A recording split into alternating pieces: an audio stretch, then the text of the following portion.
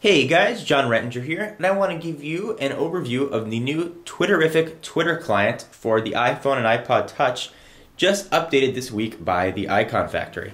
So let's go ahead and get started. Here's the icon, it's that little bird. We'll go ahead and click it, and it really is a complete makeover of the old client. The old client needed a lot of work.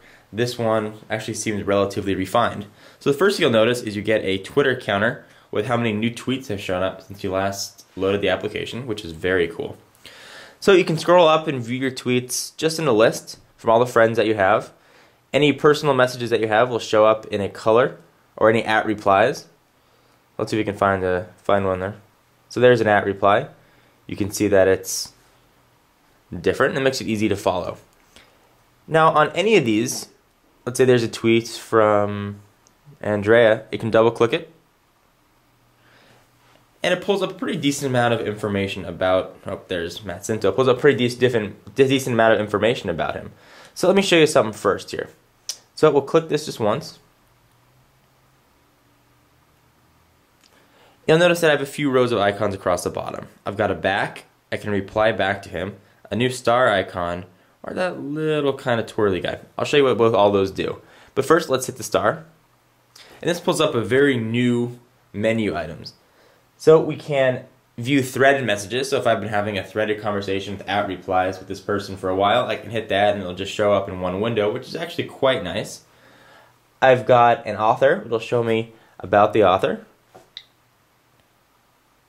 Little dad. It'll show me all about Andrea Tunes and where he's from, how many followers, updates in the last eight seconds, where he is. You can choose to follow, unfollow, or block.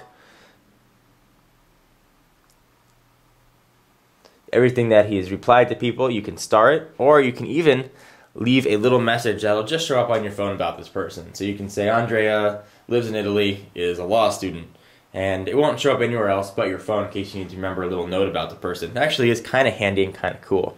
And if you want to reply or send a note to him, you can just hit the bubble on the bottom. So we'll go back. Let me show you some other things that show up when you hit the star.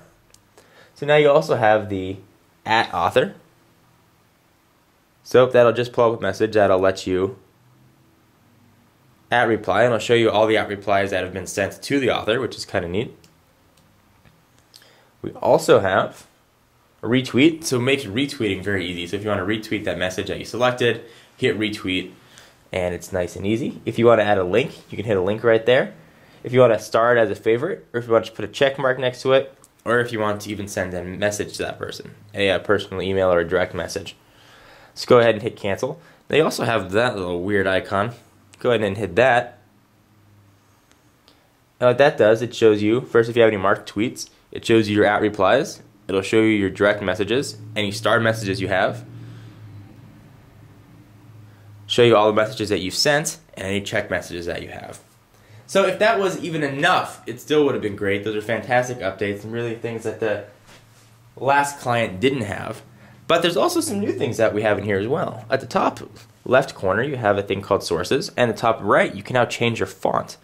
So if you go ahead and select font, you can make it giant, tiny, or what I consider to be a normal size font. So go back to sources, and I'll show you what you can view here. You can view a public timeline of all Twitter tweets. You can view all of your tweets. You can do a quick search now.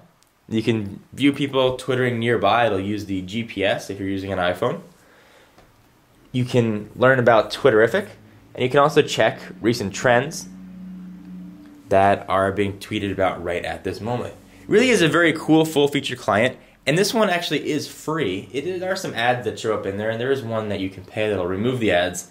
But for me, I don't mind looking at an ad or two. I think it's a fantastic iPhone Twitter client. and It's definitely worth checking out if you guys haven't already.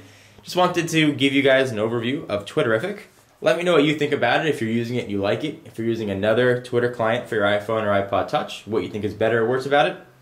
Anyway, guys, hope you enjoyed. This is Jon Rettinger with uh, a review for you of Twitterrific. For exclusive content, most appropriately, check me out on Twitter, twitter.com slash John Lakers. I just woke up and I'm going to go eat some breakfast. Here, and I want to give you a demo of the new Twitterrific iPhone or an iPod Touch quarter client. Quarter client